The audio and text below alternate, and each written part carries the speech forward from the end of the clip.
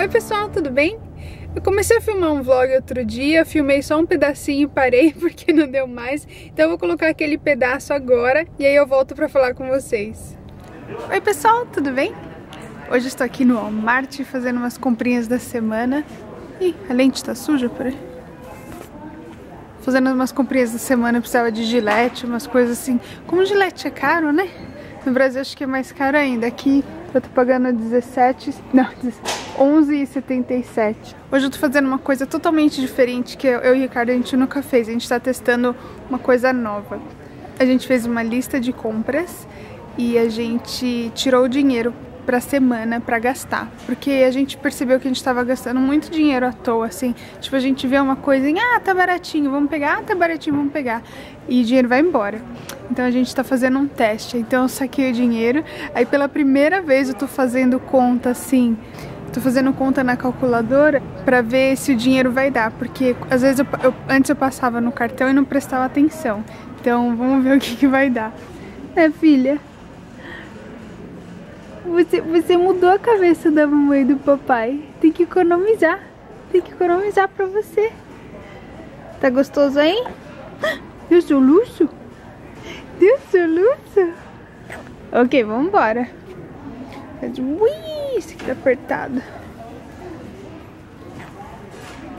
Ela tem que ficar dentro do carrinho porque aqui eu acho que ela cai, sabia? Imprimi uma lista online para fazer a lista de compras, né? E é legal que aqui você pode planejar a sua, a sua comida para semana. Eu ainda não cheguei nesse ponto ainda, tem, tem que me organizar melhor, mas pelo menos eu tô com uma lista, daí eu vou tentar não sair dela. Uma coisa que tava precisando muito era de uma frigideira, mas como eu não coloquei na lista e como eu não separei o dinheiro para isso, eu não vou comprar. E normalmente se eu tivesse com o cartão de crédito, eu compraria. Então é engraçado, a minha cabeça tá totalmente diferente. Eu tô olhando certas coisas aqui que eu queria já pegar. Ah, que bonitinho, quero comprar. Aí eu, não, mas não tá na minha lista e eu só tenho um tanto para gastar. Então muito interessante. Tô, tô gostando, tô gostando. Então, aquele dia depois que eu saí do Walmart, eu saí com uma sensação de satisfação, assim, de que eu consegui fazer algo maravilhoso. Não dá nem pra acreditar. Talvez isso soe até um pouco ingênuo, né? Mas, assim, é uma coisa que... Excuse me. Ricardo. Ai, a capinha, Davi. Dá licença. Então, aquele dia que eu saí do Walmart, eu saí tão feliz assim, como se eu tivesse conseguido alguma coisa muito importante na minha vida. Pode até parecer bobeira, ingenuidade, mas não é assim. Eu nunca prestei muita atenção na hora que eu comprava as coisas no supermercado, e não que eu comprava tudo que eu queria, de jeito nenhum. Mas assim, ah, pegava isso, pegava isso, olhava o preço, ah, baratinho, baratinho. Só que o problema é que o baratinho vai juntando e dá uma conta maior, e às vezes a gente compra uma coisa que é desnecessária. Eu e Ricardo estamos fazendo um curso assim de educação financeira e mais pra frente eu falo sobre o assunto, é porque a gente tá no meio do caminho ainda, então eu não quero falar nada, mas a gente tá aprendendo várias coisas e eles falam também bastante sobre como ensinar suas crianças já ter uma ideia sobre dinheiro, como lidar, o que fazer, e eu achei fenomenal. Uma das coisas que eles sugeriram é fazer um sistema de envelope, coisa bem de antigamente mesmo para você ter controle. Aqui eu tenho quatro envelopes com dinheiro, então um dos envelopes é para os meus animais, coisa que eu vou gastar com eles nesse mês. O outro é para entretenimento, então se a gente for sair para comer em algum lugar, qualquer coisa de entretenimento. O outro é para supermercado e outro é um dinheiro para eu gastar, um dinheiro que fica na minha carteira que eu posso gastar como eu quiser. Eu posso comprar uma coisinha para mim ou eu posso juntar o dinheiro da semana e acumular para comprar uma coisinha maior. E gente, só de fazer esse sistema de envelopes já mudou a minha forma de pensar. Tanto que a hora que eu estava no supermercado fazendo as contas assim, adicionando com a calculadora e vendo quanto dinheiro que eu tinha, eu que maravilhoso. É uma forma da gente se controlar para não comprar coisa inútil, não comprar coisa demais. E é uma forma também de ensinar nossas crianças, né? Nesse curso que a gente estava fazendo, eles falaram isso para fazer com as crianças. Então, dá três envelopinhos para criança. Um para guardar o dinheiro, uma poupancinha para ela, mas o dinheiro é dela. O outro envelope é um dinheiro que ela vai separar para doar, ou para a igreja, ou para alguém que está precisando. Ela tem que ter um envelope para doação. E o terceiro, o envelope para gastar. Eu achei isso fenomenal. Eu e o Ricardo, a gente tá super animado. A gente parece duas crianças, assim, ah, quanto que tem no seu envelope? Quanto tem no seu dinheiro de bolsa?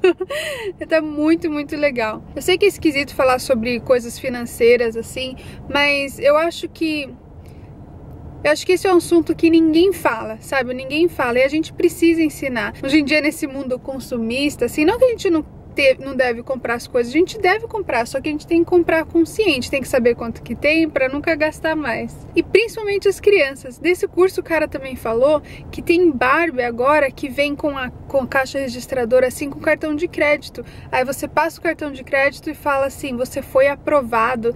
Assim, a criança não tem mais senso do dinheiro, do que significa o dinheiro de verdade, o valor do dinheiro de verdade. Então achei isso muito legal. Como hoje já é outro dia, eu tenho umas coisinhas para comprar nos supermercado de novo, tá vendo? A gente vai no supermercado direto. Eu vim com a minha lista de novo, eu vou manter, eu vou ficar na lista, não vou sair dela, porque eu tenho que fazer um desses envelopes durar duas semanas.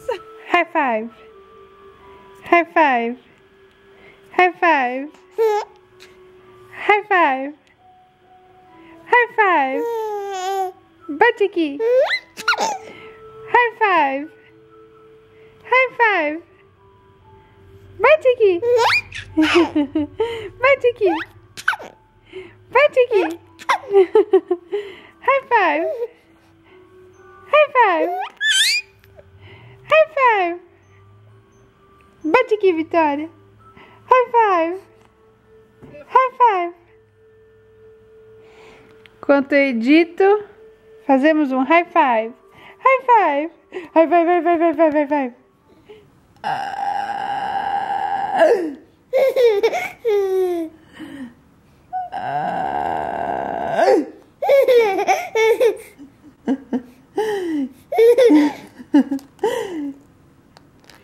Caiu?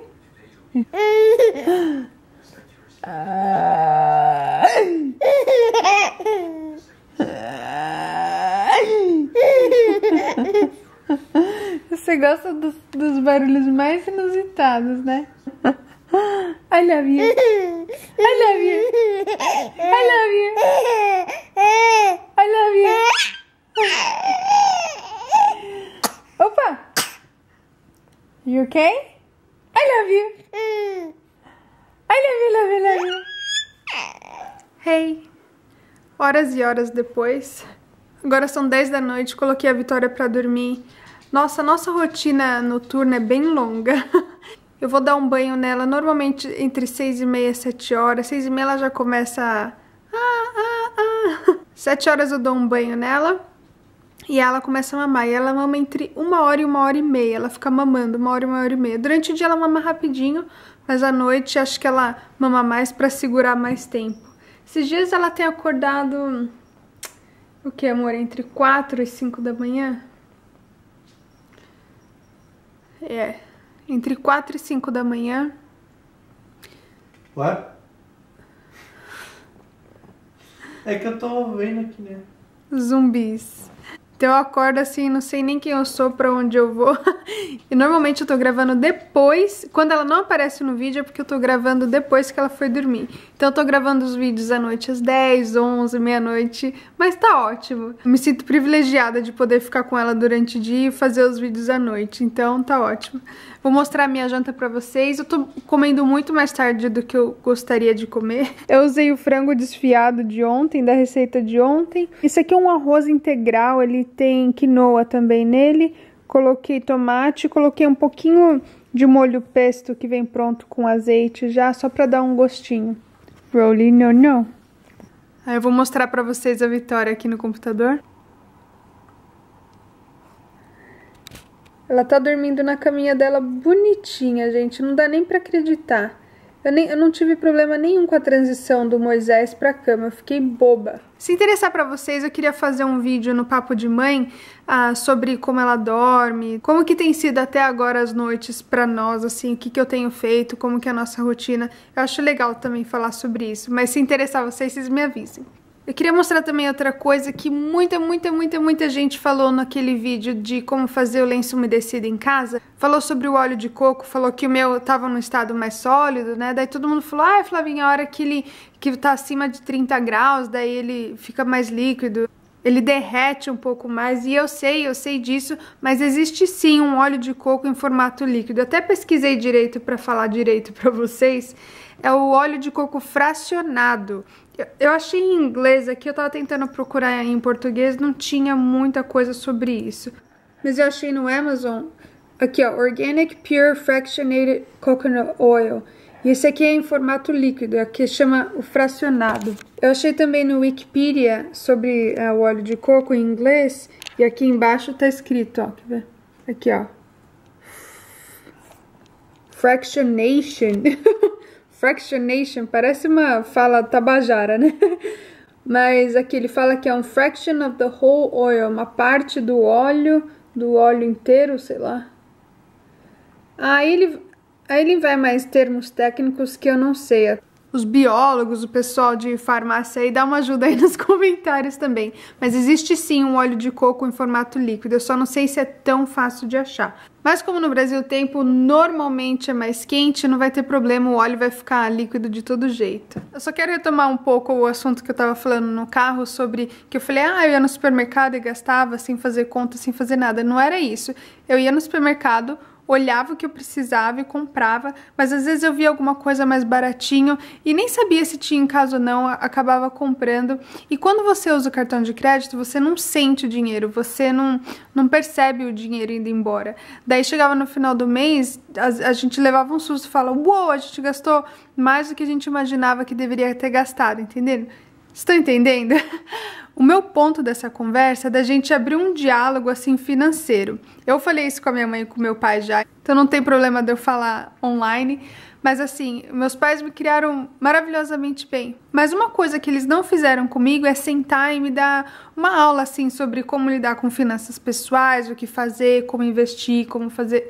Então, assim, isso é uma coisa que o Ricardo a gente tá aprendendo sozinho. A gente cuida das nossas contas normais, mas a gente quer fazer o dinheiro render mais, a gente quer dar um futuro bom para nossa filha e para isso existe sacrifício. Então, pra gente fazer tudo que a gente quer fazer na vida, a gente precisa abrir mão de algumas coisas, prestar atenção em outras. Então, por isso que a gente está fazendo o curso, porque realmente a Vitória mudou a forma da gente pensar, a Vitória fez a gente se importar muito mais com o futuro do que a gente se importava um ano atrás. Então, é por isso que eu tô falando sobre isso com vocês. Eu acho muito importante esse diálogo ser feito desde o começo, porque porque criança entende de muitas coisas e se a gente ensinar mesmo o valor do dinheiro, a criança vai entender e ela vai ser um adulto responsável. Eu sei que tem muita criança que me assiste, adolescente que me assiste, então se seus pais nunca falaram sobre finanças com vocês, agora seria um bom momento para vocês perguntarem, tipo, não necessariamente o quanto eles ganham, mas assim, ah, como que vocês fazem? Como que vocês fazem as contas? Como que vocês se organizam? Quanto que vocês guardam por mês? Porque a gente tem que estar preparado para emergências, essas coisas. Nós mesmos a gente sempre quer guardar para ir pro Brasil, então não é fácil. Eu e o Ricardo a gente está aprendendo muito e quando a gente terminar o curso a gente pode falar mais sobre o assunto. Agora uma coisa que está muito engraçada é que a gente separou um dinheiro pro meu envelope de bolso e pro envelope do Ricardo de bolso. E ele tá nervoso. Ele tá nervoso. Fala, amor, por que que você tá nervoso? não, ele não tá nervoso. Não, eu não tô nervoso. É brincadeira. É que, meu, eu antes eu queria um negócio, um HD novo pro computador, eu ia lá e comprava. Entendeu? tudo É que porque é baratinho, a gente É, acha que é pode. baratinho, então você vai que lá no pode, eBay, ah, é 50 dólares. É, bah. é, só que aí é um em cima do outro, um em cima do outro, um em cima do outro. Então, daí pra você ver se tá. Ah, comprou um monte de coisa que, sei lá, se precisava ou não. Alguma. Sempre acha que precisa, né? Por isso você compra, mas. Mas fala que você me falou hoje que é muito gostoso é, assumir o poder, assim, tomar o controle mesmo. Eu falei isso? Você não falou?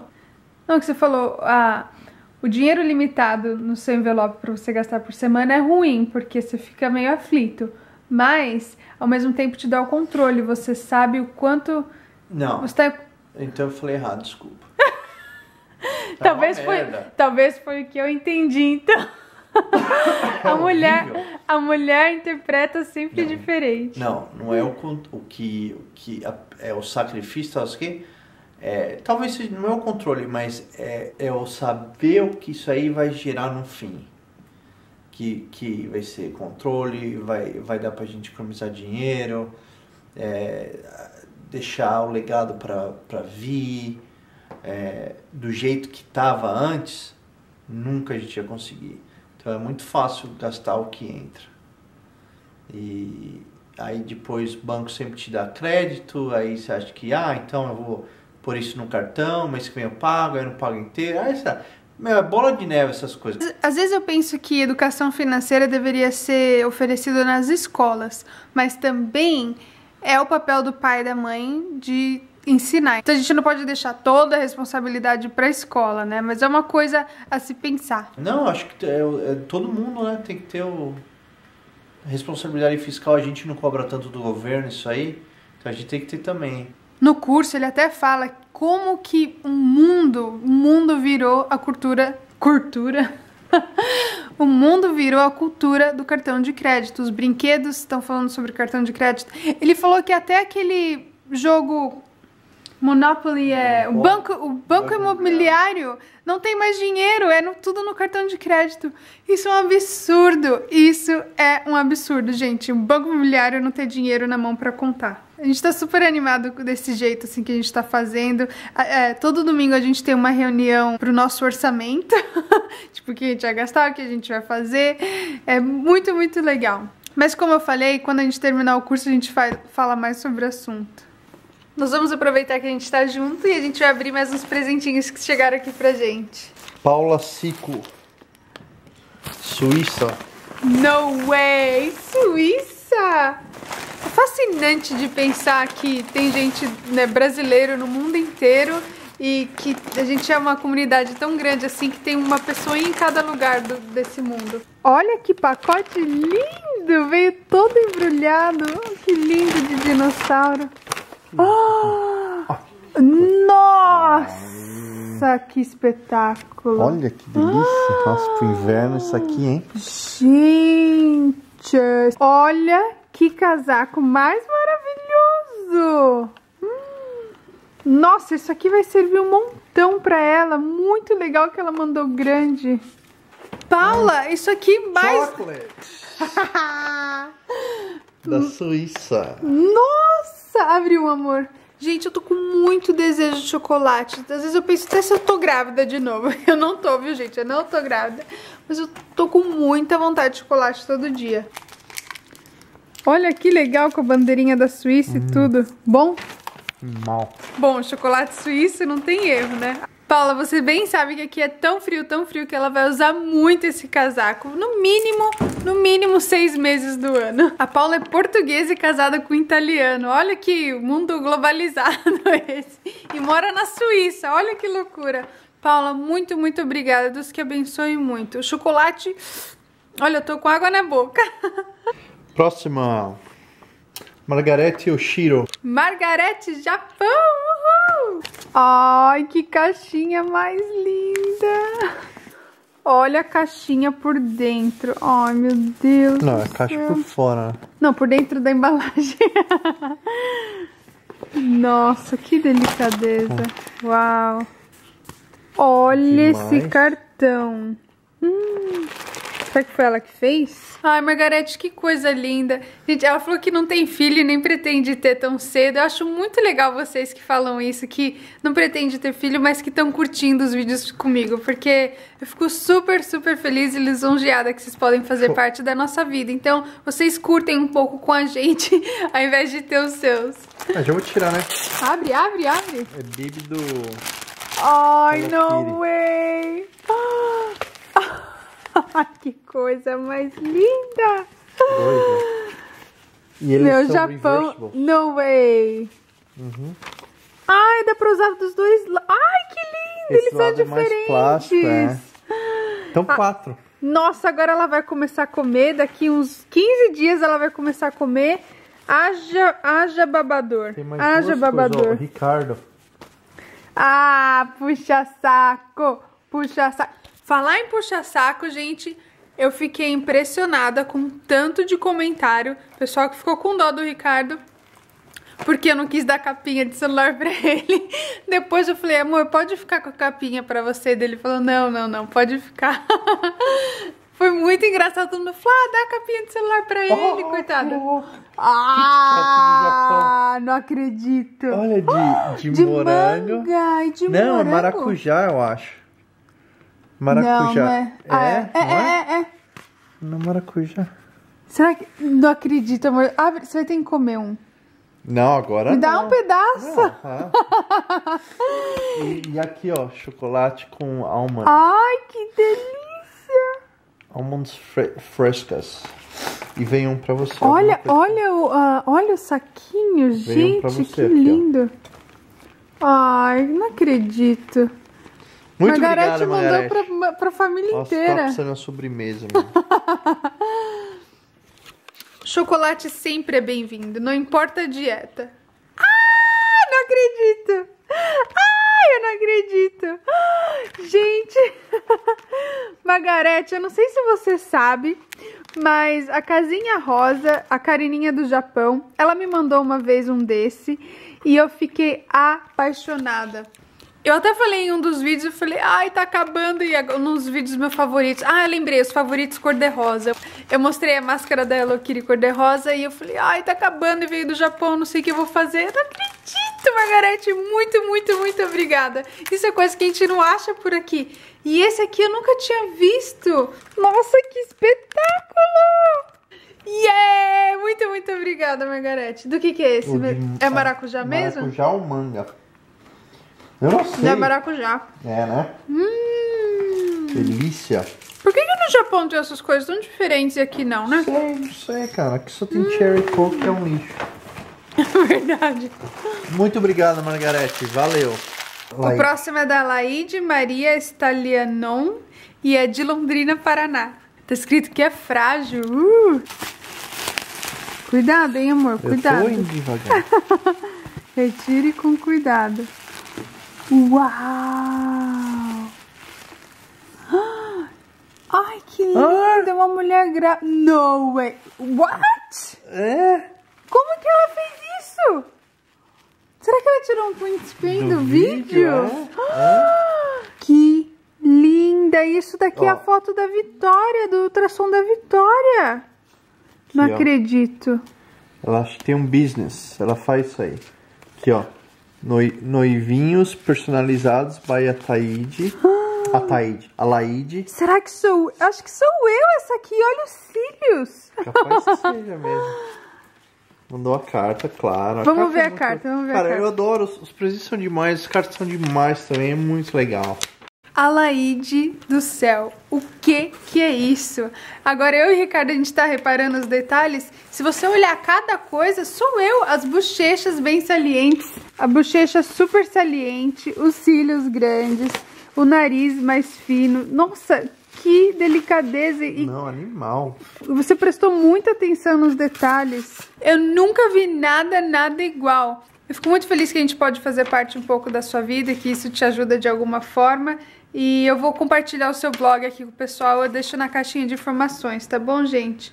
Nossa, Laide, muito, muito, muito obrigada. Isso é um presente muito especial que eu tô de boca aberta, eu tô sem palavras. O próximo é da Luciana Noriko, também do Japão. Uhul! Uh, Deve ser a cartinha. Uh, olha que coisa mais linda. Luciana Noriko, eu li a sua cartinha e eu estou muito feliz já. Papa Me. Oh my goodness. Ai, eu te... nossa, que linda! E a grande vai servir um montão pra ela. Mama, mama. Ai, que lindo! Deixa eu passar a mão. Mama Nossa, que macio! Papa loves me. Ó, isso aqui é tão útil, vocês não têm ideia o quanto eu uso. Eu tô até com um monte de roupa ali em cima, olha a bagunça. Que é pra eu descer pra lavar roupa. Terminando de abrir esse presente, eu já vou lá lavar roupa. e já vou pôr essas aqui junto. Ai, que legal. Que isso aqui? Ó, Ai, que lindo! É um macacãozinho. Ai, é tipo uma camisolinha. é, ó, ó. Olha, esse aqui serve já. Eu acho que já, dá, já serve. Eu vou colocar nela amanhã. Eu vou lavar e já vou colocar nela. Tem um gorro. do- Deixa eu ver. Ai, que lindo! Eu nunca vi nada igual. Vocês são demais. Não, oi. Ia falar pra ele comer sushi? É, a na cartinha ela falou, eu fiquei tão feliz. Esses dias eu e o Ricardo a gente foi num restaurante tailandês? Não. O que que era? Vietnamita. Vietnamita. Daí tinha o hashi. Aí eu falei pro Ricardo, nossa, eu vou ensinar a Vitória ah, dele. hashi é o nome disso aqui? É, é. Ah, é que eu não sabia. Eu li isso aí, eu não entendi. Hashi. É. Aí eu falei pro Ricardo, vou ensinar ela desde pequenininha a tentar usar já. E olha que legal, deixa eu mostrar. Esse aqui é pra, é pra treinar já. Coloca os dedinhos ali. Nossa, gente, que legal. que legal. Uau, eu tô muito, muito emocionada. Várias Olha meinhas. as meinhas. Nossa, como é útil. Vocês não sabem. Eu não sei o que acontece. Eu, ela usa muita meia. Todas que eu recebi, ela usa todas, simplesmente todas. Ai, que lindo! Mais um para as fotos mensais dela. Yay! Nossa, que delicadeza, Luciana. Muito obrigada. Quanta coisa, gente. Vocês são doidos, vocês são doidos. Luciana, muito, muito obrigada. Todas as meninas, muito, muito obrigada por todos os presentes. Muito obrigado. Nossa, Muito obrigado mesmo. a gente vai Demais. usar tudo com certeza. E essa escultura aqui é de outro mundo. Nossa, eu, eu admiro demais pessoas artísticas, assim, gente que usa criatividade. Acho que essas pessoas são muito especiais mesmo. Muito obrigada. Agora são 11h30 da noite. Eu vou lavar essa pilhazinha de roupa. Como um nenê pode fazer tudo isso? Me explica. Na verdade, porque eu fiquei empurrando. Amanhã eu lavo, amanhã eu lavo, amanhã eu lavo. Agora acabou todos os bodezinhos dela, preciso lavar tudo. Achei engraçado que tem um monte de gente que perguntou no comentário: Flavinha, do que você tá falando que ela fez explosão? É que assim, às vezes o número 2 ele explode, assim, ele, ele vaza. Aí suja a roupa, então tem que esfregar algumas antes de pôr na máquina, senão a mancha não sai. Então explosão é quando o número 2 vai pra tudo quanto é lado. Então vou lavar roupa, limpar a caixinha de areia dos gatos, lavar louça, vou dormir e eu vejo vocês na terça-feira. Um beijo enorme, muito obrigada por todo o carinho. Tenha um ótimo final de semana e até terça-feira. Tchau!